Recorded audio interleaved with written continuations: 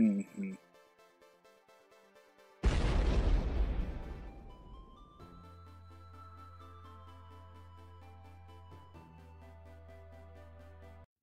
Was zuletzt geschah.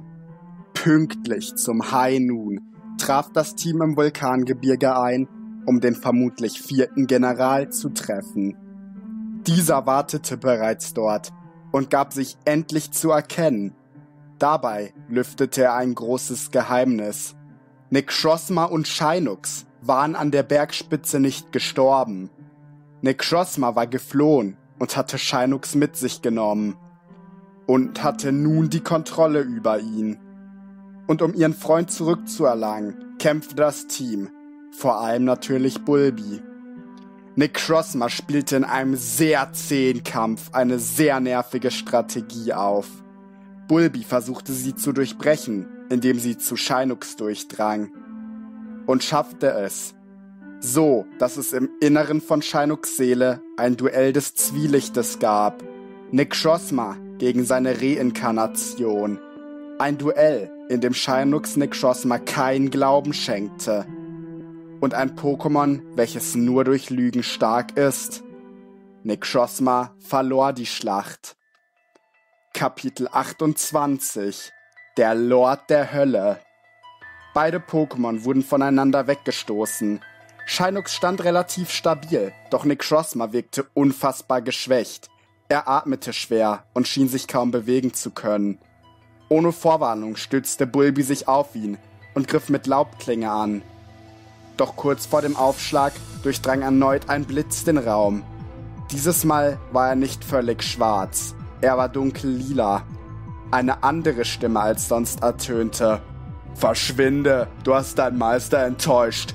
Du kennst den Text. Versager! Als die Dunkelheit nachließ, war Nick Crossma fort. Bulbys Angriff war ins Leere gegangen. Doch über uns schwebte ein Pokémon. Es war unsere erste Begegnung in dieser Welt. Es war der Armeeführer höchstpersönlich. Darkrai. Es ist wirklich egal, in welcher Welt ihr seid. Nicht. Ihr seid immer Plagen. Allesamt. Selbst mit einem Menschen verbündet ihr euch, um mich zu schlagen. Ich übernahm die Antwort. Und zwar mit Erfolg. Wir haben jetzt bereits vier Embleme. Sobald der letzte General besiegt ist, werden wir dich stürzen. Der Albtraumkönig wirkte jedoch sehr amüsiert. Zahlen sind nicht deine Stärke, oder? Ihr habt drei. Ich sah mich um. Er hatte recht. Anders als wir vermutet hatten, war Nick Schosma kein General gewesen. Er hatte kein Emblem bei sich. Also, ich denke, wir werden uns wiedersehen. Doch wenn ihr weise seid, werden wir das nicht. Dieser Krieg war von Anfang an entschieden. Eure Heldentaten können euch nicht mehr retten. Auf hoffentlich nimmer Wiedersehen. Mit diesen Worten verschwand Darkrai. Wir hatten heute kein Emblem gewonnen. Doch es war egal, denn wir hatten etwas viel Wichtigeres erkämpft.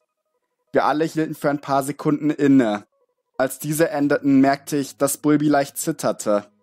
Ich war besorgt, dass es an ihren Verletzungen liegen könnte. Jedoch zeigte sich schnell, woran es wirklich lag. Als sie sich zu uns drehte, hatte sie Tränen in den Augen und rannte sofort zu Shinux. Die beiden fielen sich sofort in die Arme. Ich, ich dachte, ich hätte dich verloren. Ich dachte, ich dachte, du wärst für immer weg. Ich hatte solche Angst. Auch wenn es wunderschön war, die beiden wieder vereint zu sehen, unterbrach ich sie. Ich denke, wir sollten zurück in unsere Basis reisen. Latios und Semops wollen die tollen Neuigkeiten sicher auch erfahren. Außerdem ist es dort sicherer. Alle stimmten mir zu, und so reisten wir ab. Diese Höhle war ein bedeutender Ort für uns geworden, vor allem für unsere Freunde aus der anderen Welt.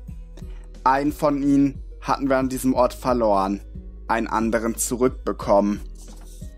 Auf dem Rückweg waren wir alle unfassbar gut gelaunt.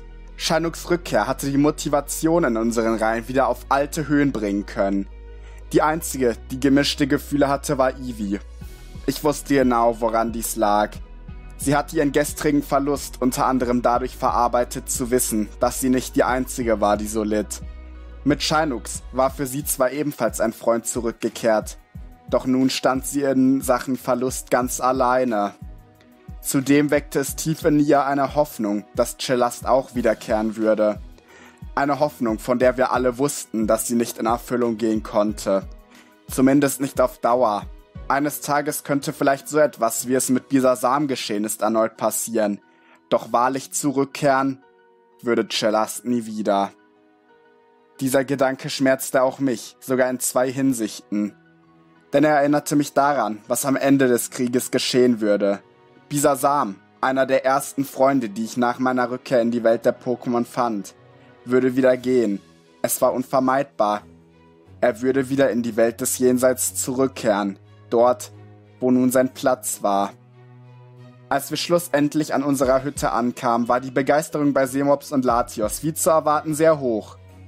Am glücklichsten von uns allen wirkte jedoch eindeutig der Zurückkehrende selber. Ein weiteres Mal wurde er von all seinen Freunden getrennt, keine Woche nachdem die letzte Trennung endete.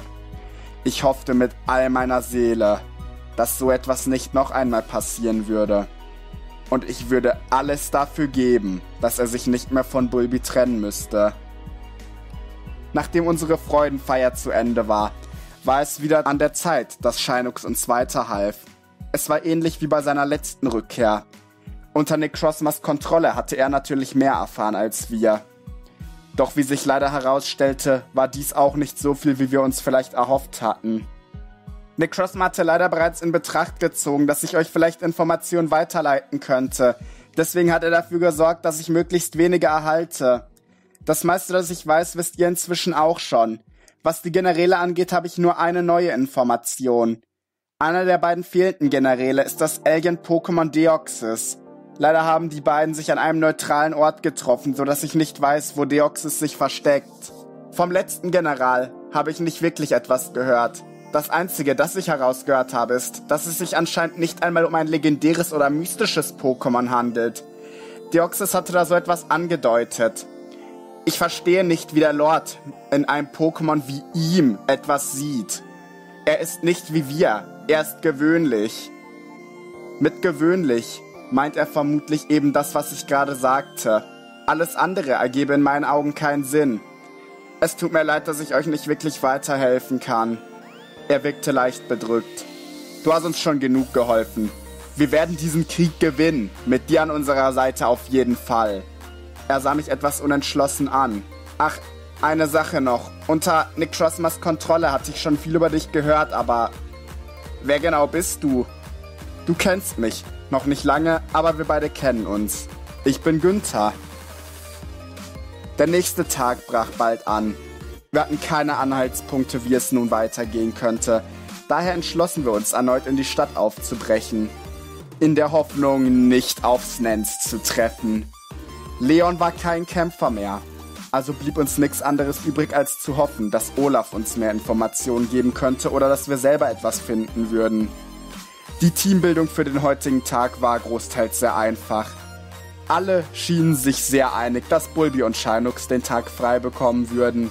Als letztes gönnten wir Latias eine Pause, die vor allem in den letzten Tagen sehr viel mitmachen musste.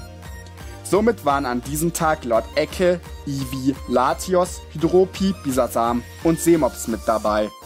Der nächste Tag begann. In der Stadt war viel los, so wie auch sonst meistens. Die Leute schienen noch mehr mit Darkreis Truppen zu kämpfen zu haben. Mit den Truppen des Lords, wie viele ihn nannten. Was wir zu diesem Zeitpunkt noch nicht wussten, war jedoch, dass wir an diesem Tag auf einen weiteren Lord treffen würden. Wir stürzten uns einfach in die Schlacht gegen Darkreis-Truppen.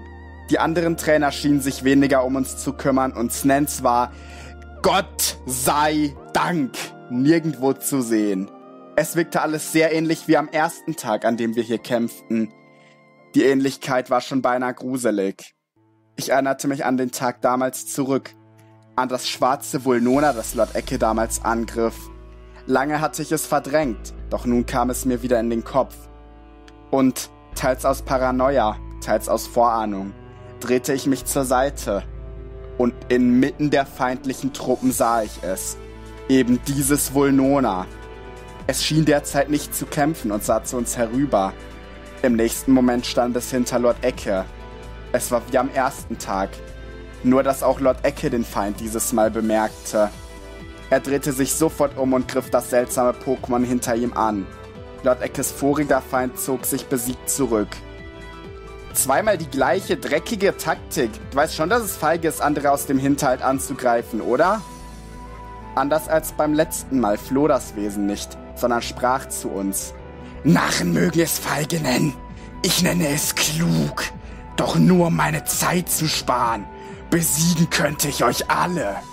Problemlos. Lord Ecke wirkte von seinem Gegner sehr gereizt. Sag mal, hast du irgendwelche Stoffe, Intus? Für wen hältst du dich? Was bist du überhaupt für ein Pokémon? Ich denke, du verstehst da etwas falsch. Ich bin kein Dämon. Ich bin kein Pokémon. Ich bin keine Fehlgestalt.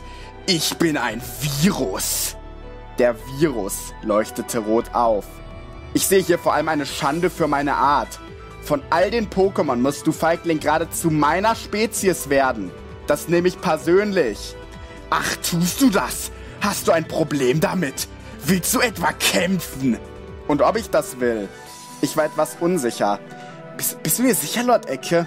Natürlich, ich habe Mega Rayquaza besiegt. Da wird so ein Normalo sicher nichts gegen mich ausrichten können. Lord Ecke nutzte diesen Begriff, Normalo, in dem Wissen, dass sein Gegenüber auch nur einer derjenigen war, die sich in der Menge mit all den anderen mischten. Doch spätestens in den letzten Aktionen vor Kampfbeginn zeigte sich diese Fehleinschätzung. Das Wesen ließ einen lauten, schrillen Schrei aus.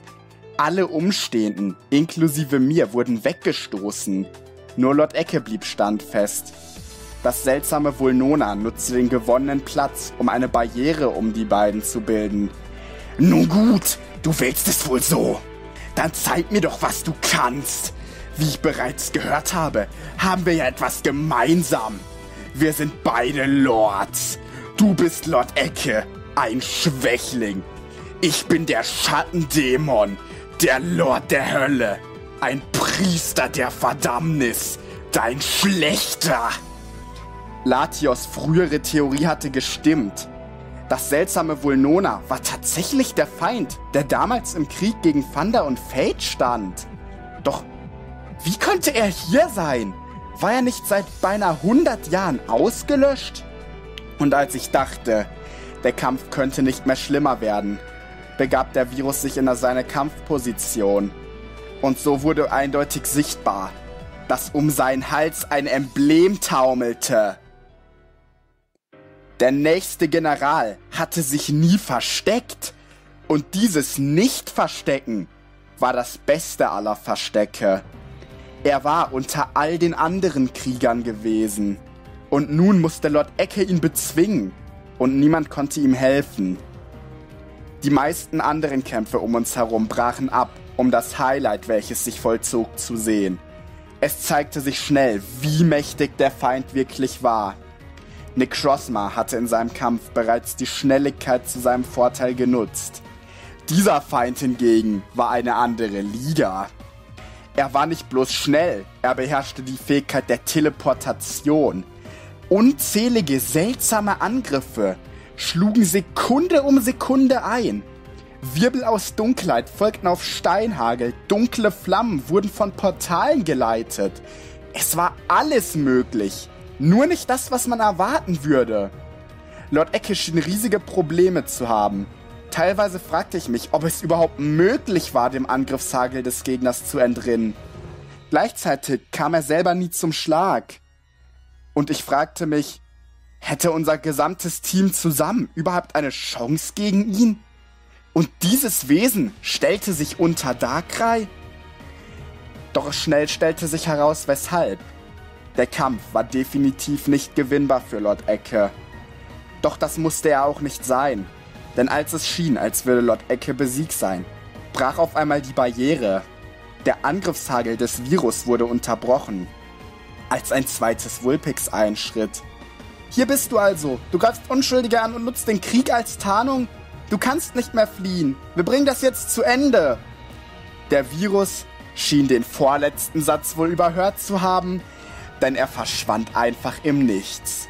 Das zweite Vulpix sah kurz zu Lord Ecke. Ich hoffe, es ist alles okay bei dir. Ich habe keine Zeit, dir die Situation zu erklären. Ich muss weiterreisen, um die größte Katastrophe der Geschichte zu verhindern.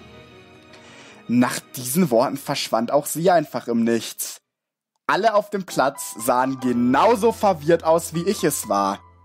Was genau gerade geschehen war, konnte ich mir nie erklären.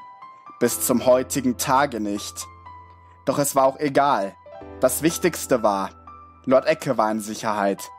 Und das Zweitwichtigste, das Höllenwesen hatte etwas zurückgelassen.